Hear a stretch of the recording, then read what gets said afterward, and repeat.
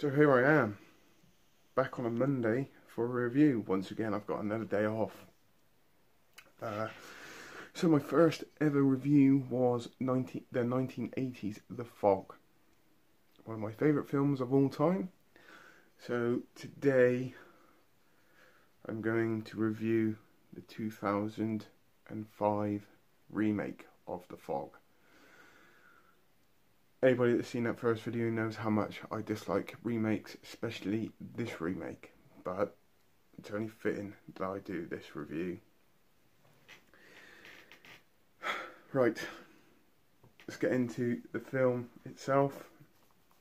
So it was released October 14th, 2005 in the US. Its director was Rupert Wainwright, it, or oh, uh, something popped in my head there and I completely forgot what it was. I am very sorry for that.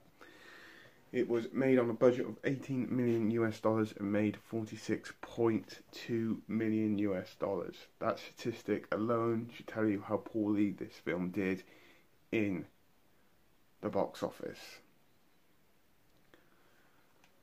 I'm sure I'm not the only person that hates this film, but I'm also sure there are people that love this film as well. The cast was Tom Welling, aka Mr. Smallville, I had to get that in there. As Nick Castle, Maggie Grace as Elizabeth Williams, and Selma Blair as Stevie Wayne.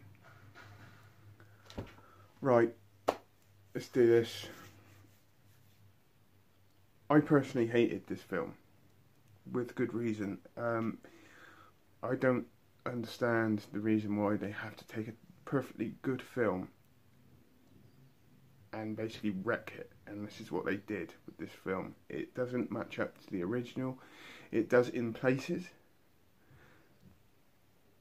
but the majority of the film it doesn't even match up to the original. To the original, it's got the it's got the same storyline, but it's set out so differently, and things were changed in the film.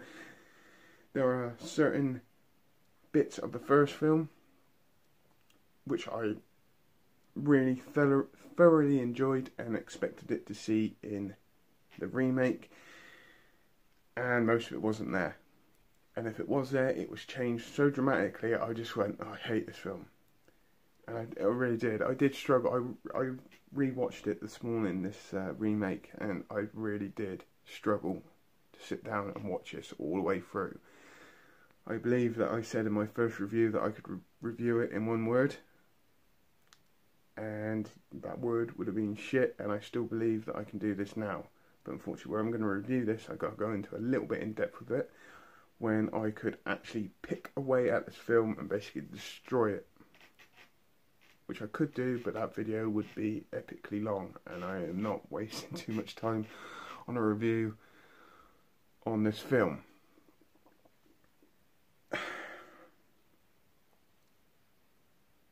So cast-wise, Tom Welling is Nick Castle. Obviously, he's playing Nick Castle from the original film. He didn't remind me of, of him at all. There is a scene in the original where he's basically driving down the road and picks up a hitchhiker, aka Jamie Lee Curtis, where they've never ever met before in their lives, ever. In the new one, he picks up a girl which is actually his ex-girlfriend and they knew each other and later on in the film she becomes a very very key part of this film which didn't even happen in the original. That's one point I hate of it is that this character in the original who's meant to be kind of Jamie playing Jamie Lee Curtis's role doesn't even it doesn't even happen in the original. So that so yeah. I mean, he's he's not a bad actor. Tom Welling is not a bad actor. I, I won't ever deny that. But this role, he was so not suited for this role at all. See, I'm struggling to even talk about the individual characters because they just did not fit it in any way, shape, or form. Now, going on to Maggie Grace as Elizabeth Williams.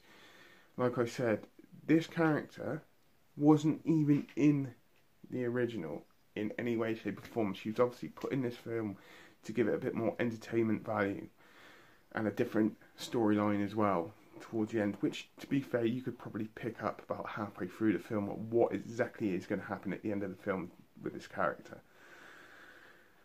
All in all, I haven't, like I said, I haven't got a lot of love for this film. Um, her character, I didn't enjoy in any way, shape, or form. Um, I didn't believe that she needed to be in this film in any way, shape, or form, and she didn't even re- even slightly remind me of Jamie Lee Curtis's role in this film. And moving on to Samuel, Samuel, Samuel Blair, or Samuel Blair as Stevie Wayne.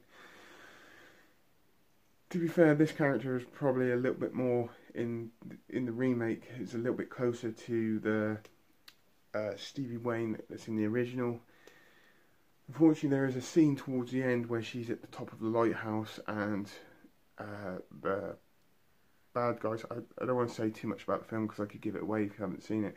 I basically basically changed her, chased her, I should say, to the top of the lighthouse. That scene isn't even in this remake. It is a completely different scene altogether, which didn't have any influence or any need to be in this film. It was complete waste of time apart from putting in a little bit of a scare factor and a few extra CGI moments in this film.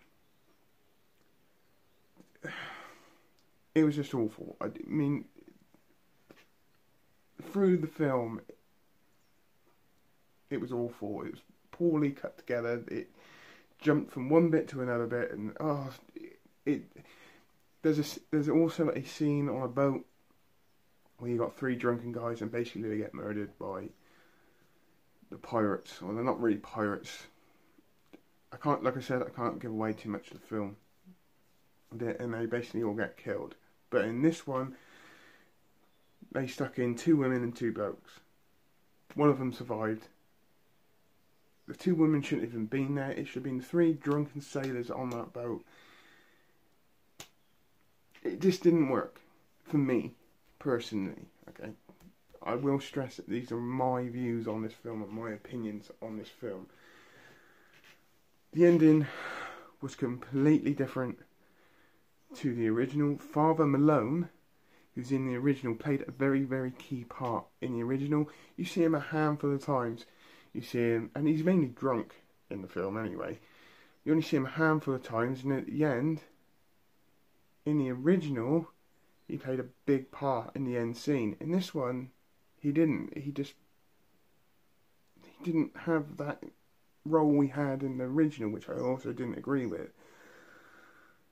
Uh, so there are many, many flaws about this film. I could, I literally could go on and on and on about this film, but I'm only just reviewing it, and these are just my personal opinions. So here's a mission mission for you all. Go and find the original, watch the original. Then go and find the remake and watch the remake. And tell me what you think of the two different films. The one thing I will say on this is I understand that in 2005 they were trying to beam it at a direct a certain audience. It was the time of Final Destination, the first Saw film, Freddy vs. Jason. It was the time of the slasher horror films. So I can understand the audience they were trying to uh, aim it at. But they could have done that if they just kept the original kept to the original film and didn't chop and change it or swap scenes about or put extra things in there for entertainment value. They would have had a perfectly good film if they just used the original exactly how it was. All you would have had is a modern take on it. That's all it was, and it still would have been a very enjoyable film in my eyes. So, you've got your mission. If you agree with what I said, post it in the comments below. If you disagree with the comments I said, post it in the comments below. I quite gladly have a debate with people on this film. Give the video a like. Oh, and go onto my Facebook page, uh, Dave Cook, film reviews and trailer reactions. I know it was not one of my best reviews ever, but I had to do it just to, you know, it was one of those things in the back of your head. It's like I got to review it at some point, and I was always going to have to do a negative review on a film at some point. There are many other films which I dislike, and I will get around to them as well at some point. But I had to do this one. I hope you enjoyed the video. I hope you have a great rest of the day. I shall be back very, very soon for another review, which I do believe is the 1999 uh, The Blair Witch Project, which I'm going to do because I plan on going to see the new one this weekend if I can. So I thought it'd only be fitting if I done the first Blair Witch and possibly the second one. The second one I really didn't like, but the Book of Shadows. So anyway, like I said, like the video, put some comments down below if you agree with anything I said. Have a great rest of the day. I shall see you all soon. Take care and goodbye.